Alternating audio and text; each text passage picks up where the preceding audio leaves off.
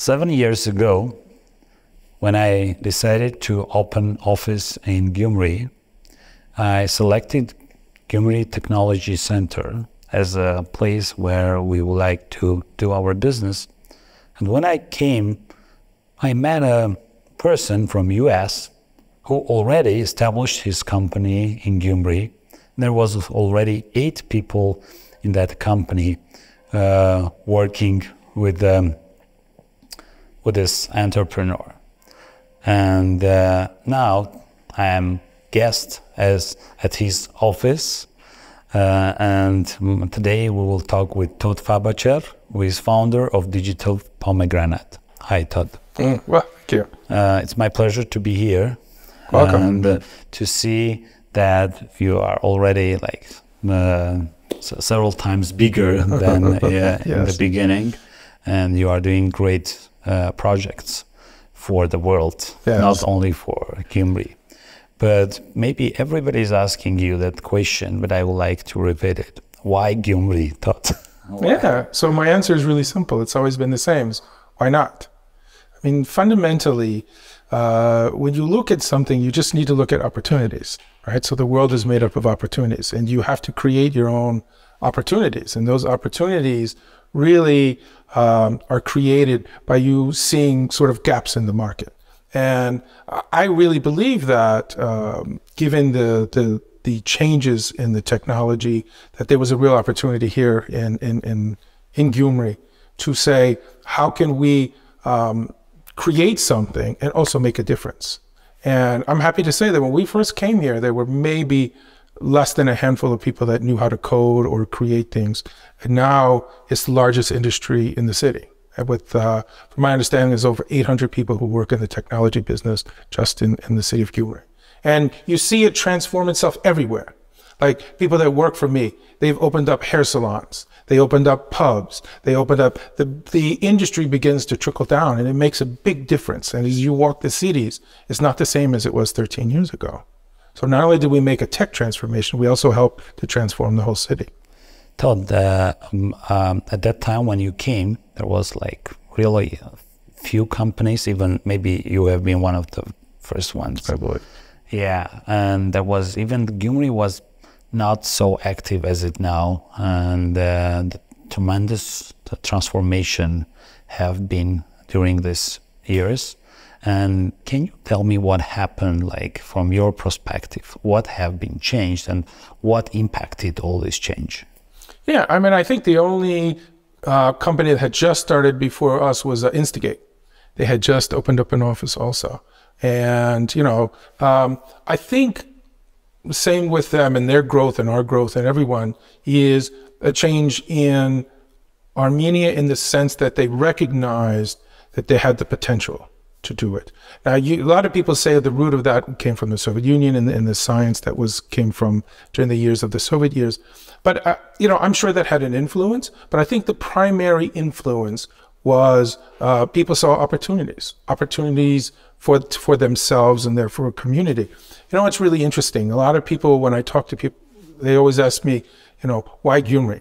You know, and and it's it's it's for a lack of knowledge. It's not really condescending. I mean, they're not really, you know, like especially people in in, in Yerevan. It's like, and I, and and I say, have you ever been there? And they were like, no. And I'm like, it's less than two hours away. I mean, how could you not go see something like that or do it? And why would you not want to? So, given the fact that I think people in Gyumri at that time didn't believe in themselves, much less being able to to learn technology. So someone always says, you know, how did you teach technology? Well, the first thing I taught was for them to, to have confidence in themselves, that they could be a global company. Today, our big strength is not only are we a top tech company, but we are dealing with customers in Brazil, Australia, uh, Japan. You know, we write the apps that move the world in the music industry.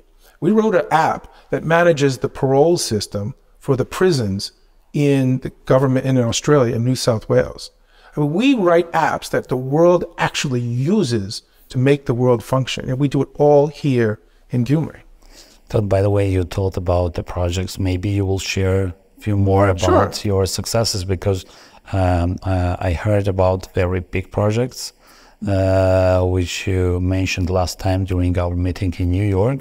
Uh, but is there any success stories after that, or the big ones which you would like to share? Well, I think most people know that we're in the, in the music industry. I mean, we we're unfortunately not able to give a total specifics of of contracts per se because we started like many Armenian companies did. We started doing contracts for other people. The great news is that we're evolving, just like Armenia needs to evolve. And as Armenia first began to do outsourcing or contract work, eventually those companies are now creating their own startups. The vast majority of people get in this business now get in the business as their own startup, which is a wonderful transformation. You know, the real thing is, yes, you have branch offices of foreign companies, but that's usually in, in the Armenian tech industry. I think that's a very small percentage. The vast majority working for Armenian companies for that were started here and created here. And that means that the money stays here. And as you know, I'm involved in Gituzh initiative. Mm-hmm uh, which uh, pushes uh, all institutions to be more involved in, in developing the science, starting from government till the industry. And I would like to know your opinion. What must be done in this direction to uh, make this collaboration work better and to make Armenian tech companies to be more involved in product development and R&D stuff also to create more value for humanity. What's uh, your vision about that? That's a great question because I think it's really important not only for the society and individuals, but it's also important for the country. You know, take a lot of small country, the countries that you think, you know, when, when most people talk about Armenia, they say, oh, well, we need to emulate Estonia. Oh, well, we need to emulate uh, Singapore. Oh, we need to emulate like Israel. But why do you say we have to emulate them or emulate like Taiwan? You you're saying we need to emulate that because they're successful. And why are they successful? Is because they contribute to the world in general. They are an exporter of things. So they become important to the world. You know, you say to yourself, well, it's just basic science. Well, it's not basic science. When you create something and you add value to the world, you become important to the world. And I'm going to say something really, really direct, which, you know, so say it is negative or positive. When the war came down a couple of years ago, you know, some people had come to us and said, you know, oh, you know, some people, a lot of, uh, you know, Armenians come to you. Are you nervous about being in Armenia? Um, you know, I'm sure you're losing a lot of business for it and this and that. And I said, I'm not. And they're like, well, how can you not? I said, well, I have a sad truth for you we talked to one of our clients who was Sony and we said, listen, do you have an issue that there's a war? You know what the answer was? What war? They didn't even heard about it. They didn't even know. And you ask yourself, okay, is that good or that's bad? It's bad because the most important thing is you have to make yourself relevant to the world. And having good scientific research, adding value to the world, makes it important, not only for you, not only for the industrial, but for the whole world in general. Like you said, and part of that is important. You have to make yourself important. And you could say, well, how come the world doesn't, you know, know us? Well, the question has to go back to you. What have you done for the world? Part of it is you need to create that and you need to, to make the world a better place. Start with that is, is, is in today's world is science and technology and medical advancements. It will make a difference. You mentioned about the kids from TUMO, from Armath, and also you met a lot of uh, bright minds in tech. But in my experience, that there is a lack of business knowledge, marketing, uh, sales, and this uh, type of forces uh, we need to have to be successful in creating products and selling them. What do you think? What must be done in this direction? What we can do? What type of collaborations we have? We can build to strengthen that direction. That is a very timely question because, you know, as as we're saying, I've invested in in, in some you know in some Armenian tech startups and and and in the general, even for my own company, you know, what as when you're doing contract work, and many of the tech companies are now doing their contractor, as they move out of that business, they realize that they have to have a product, and if you have to have a product, you have to have sort of sales. When you when you have large corporations or you start to have successful companies, you ask yourself the, the question what department makes the most money in any company? Many tech companies will tell you it's the tech people. It's not, it's the salespeople. Why? Because your success depends on the salespeople, the sales and the marketing people. Because your expenses, your products, you can have the most wonderful product in the world. You can have the best technology in the world. But if you can't get it out to the market, if you can't reach and understand how to sell it in Brazil, how to sell it in Australia, there's there's a very simple people um, a path. Most people are like, well, I'm going to go to the United States and I'm going to figure it out, right? Or I'll go do something in Europe. But yet, there's a massive market in China, and what's keeping them out of China or keeping them out of India or keeping them out of other markets like Africa is fear. It's fear if it's unknown. I mean, yes, okay, US is a great market to go to. We sell in the US, we do a lot. Our, our recent business, we really focused on the UK, uh, our, our antique and, and art software. That's because that was the biggest market in the world for that business.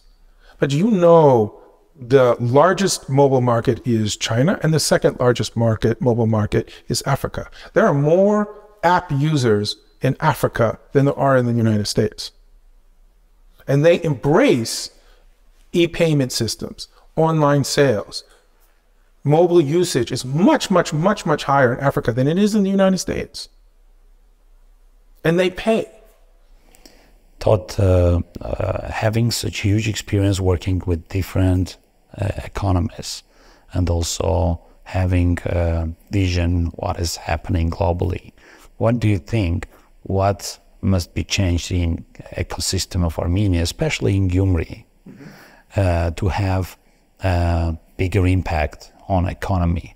What what must be changed? I know some there is some projects I heard about uh, this uh, big projects in Gyumri. Probably you will know them better.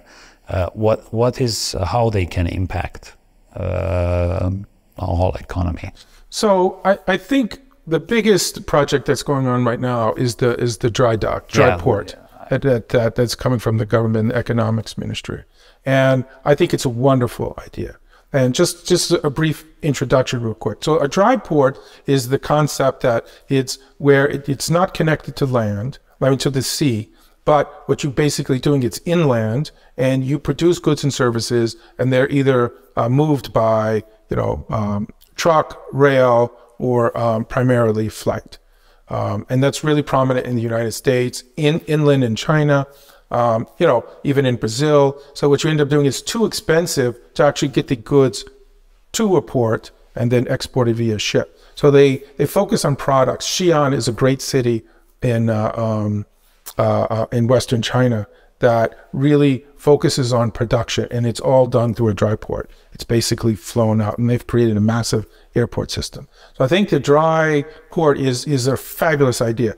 Now for me, um, I think the real focus should be on um, something that is great that merges all of the science and technology and the real strengths of Armenia, um, which is merging the software, uh, and creating something like IoT devices. If you want to create a great ecosystem, how do you bring the pieces together? You know, Armenia is, a, I'm very bullish or very positive on Armenia because your tech industry has something that most don't.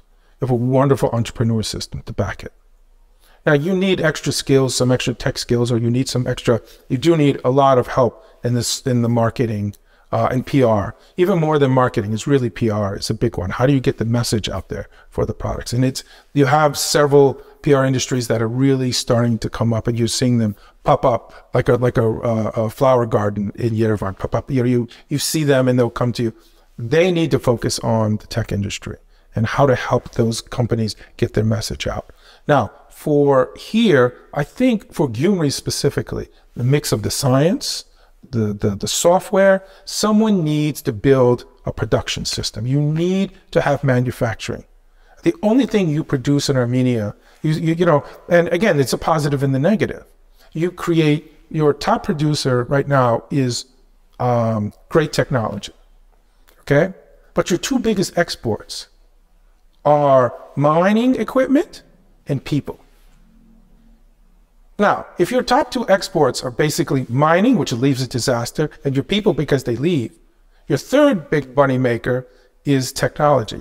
Well, if you want to stop exporting the people and leave them here and let them create jobs, you have to create manufacturing jobs. You have to create production. Not everybody can be a, uh, a software producer. You can't have an entire city, a country of 3 million people and everyone just writes software. So you need that tech, we need to bring that science and we have to make it real for people. We have to create jobs of people that put stuff in boxes, that print the boxes, that wrap the boxes, that tests the devices, that print the PCB boards, that put the chips on the boards. This is why China is able to grow from most, one of the most impoverished countries in the world to, you know, a middle-aged country in such a massive amount of time is because they focused on manufacturing. And you could say, well, I can't do that in Armenia because we can't produce cars because we can't get them out of the country. So you create through this dry docking. Gyumri is the perfect city for that. You have the, the airport. People want to uh, focus on it. You have uh, you have to now create industrial production, and you have to take a focus like Taiwan Semiconductor. Taiwan Semiconductor manufactures the chips, and around that are hundreds of IC chip design houses that they support. And then eventually now it's for around the world. But they originally did it to create an industry in Taiwan that produced hundreds of billions of dollars of value. Hundreds of billions of dollars. So you need to pick that industry, pick the government needs, and this is where the government, I mean, I think a lot of people in Armenia are over reliant on the government, saying that the government should should should find a solution to their problems. Um, it's not the government's job. It's the your industry's job to go to the government and say, okay, here is something you can you can focus on. And it's great that you have great science, basic foundation of science. I mean, you need to focus on that. You can't just ignore it. But your job as an industry is to come together and says, finally, I have something that's great about science. And it has encompasses everything. Engineering, technology, software, hardware, production, manufacturing. That's what you need to do. And then get around it. And how can you embrace that? Todd, um, uh, what you will advise uh, to entrepreneurs who want, who are thinking about Armenia to invest here or not? What is your advice to them? My first advice is to come to Armenia and ask to have lunch with you because what they want to do is they need to meet successful people. They need to meet people that are top in their industry, that have created that value and have had really, really successful um, um, businesses. That number one, if you, there's two ways that they need to do. You need to do a step investment, which means how can I find someone that I want to invest in? First is a bit of money. They need to feel safe. You know, one of the things that if my advice to them is do it in baby steps right? It just so happens, you know, first that I did is I came, I took a look around, I started with a handful of people. Um, you know, I took a little bit of a different path and, and then we continue to grow. Um, but I'm in the tech business. I create value. I knew that as I created this company, I could produce that myself, even as I was training locally people. So we could still create value because I, I also did it myself. If you want to start doing it, is come in and come into a company like Early One or Lime Tech and invest in them or find companies like that where you can put a little money in, even if it's 20,000 or $50,000. Start to learn and the local people. Then the second thing is, is come. If you're looking at um, doing a larger investment, you know, then choose general investment houses. You know, someone like um, Smart, Smart Gate, yeah, Formula uh, VC. Yeah, so you you know, there's ways to start to get these. This is how you can you can start to to find a you know you'll get the biggest impact. Plus, it'll also lowers your risk. Then my next investment advice for them is to really to put some roots down here. You know, it's always a huge amount of fear. Fear is the mind killer per se, and you have to you know once you've done those first three steps then you need to make that third step, which is how do I produce here? What value can you add to the country and to yourself? And what can you do? So, for example, everyone always thinks, oh, well, I have to be a tech investor to be here. But you said yourself, what is one of the weakest areas that, Arme- that Armenia could really use some help is marketing and PR. I bet you right now there are a thousand really talented, experienced tech, PR, marketing people that are in California that wouldn't it be awesome if they just decided to take a three or four or five years and say, you know what, I'm going to give it a try. It doesn't have to be I'm a software programmer. The programming industry, the tech industry is really the tech business, the tech aspect of it is only like 30% of it. What about finance? Who's help, who's here really helping to manage all these finances? Because these tech companies get big investors and then they get a big chunk of money. What are they going to do with that money while they're still slowly building their business? They're not getting solid financial advice. So if you're going to build an ecosystem, it's a whole array of people. And so if you're sitting and you're thinking about it, my first advice to you is think about it. Think about making that move. It doesn't have to be permanent, even if it's for five years. Todd, thanks for your time. It was my pleasure to meet you.